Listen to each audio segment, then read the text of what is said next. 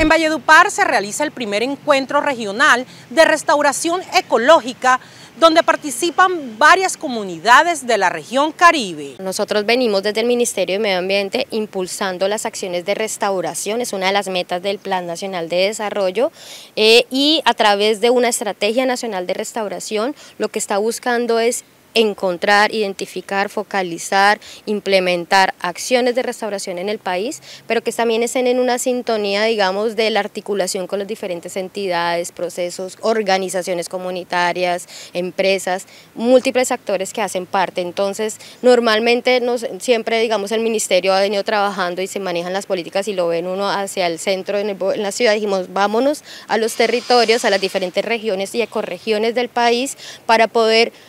socializar, convocar, eh, conocer también, articular y complementar esas acciones. Entonces hoy estamos en un encuentro de Mesa Nacional Asesora de Restauración, agradeciendo aquí a la Corporación Corpo Cesar y pues Corpo Guajira también que nos ha prestado los apoyos para poder desarrollar estas acciones. Estamos aquí en un encuentro de diferentes gentes del Caribe, gente de la Sierra, gente de Cincelejo, bueno, de Sucre, gente pues de la Guajira, del Cesar,